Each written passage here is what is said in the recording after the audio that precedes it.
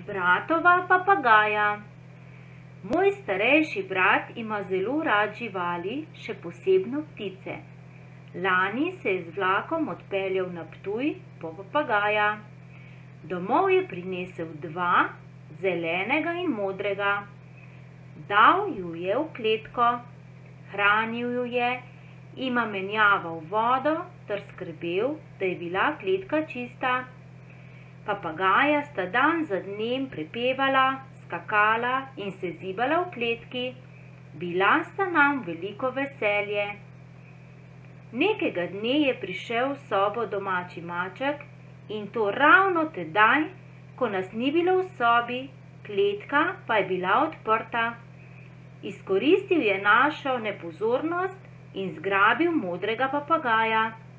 Na srečo je tisti trenutek stopil v sobo brat in papagaja rešil. Od takrat smo pozorni, da je kletka vedno zaprta.